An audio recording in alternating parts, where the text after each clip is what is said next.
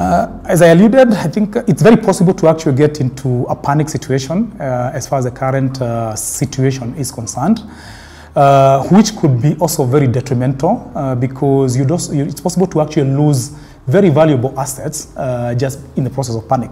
So running away from assets that would potentially recover in the very nearness of time.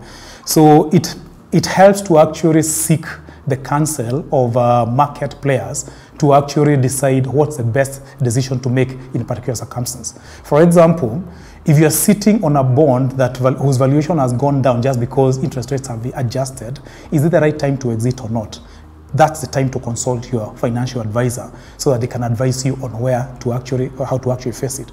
You could be sitting on a stock that, for example, has lost 25% are you better off uh, crystallizing that 25% loss or actually letting time pass so that you even out as far as that is concerned? Again, those evaluations are done on a case-by-case -case basis.